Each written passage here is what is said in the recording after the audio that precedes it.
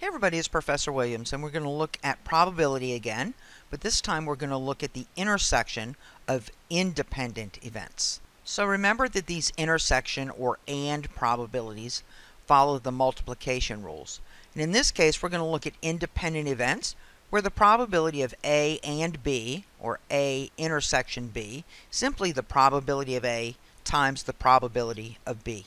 So the AKC conducts a study and finds that 32% of dog owners feed their dogs people food on a regular basis. If we randomly select four dog owners, what's the probability that all four say they feed their dogs people food on a regular basis?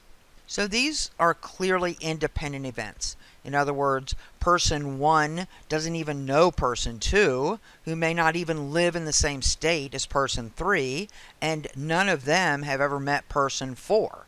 So the probability that these four dog owners all say yes is an example of independent events. When we knew that the probability that people in general said yes was 32%.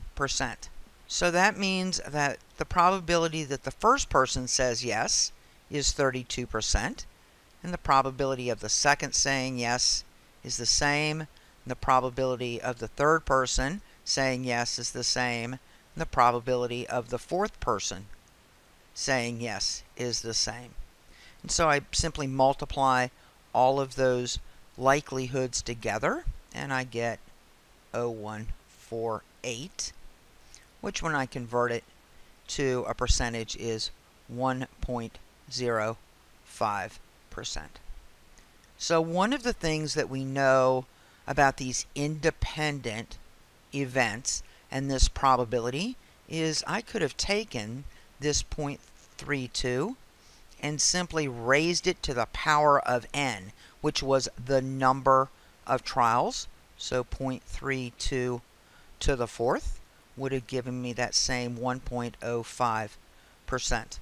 So if the probability doesn't change because of these independent events, you can literally find this by saying that the probability of E and then raise it to the power of n or the number of trials. So in this case, if I wanted to know six dog owners, I would just take 0.32 and I'd raise it to the sixth power.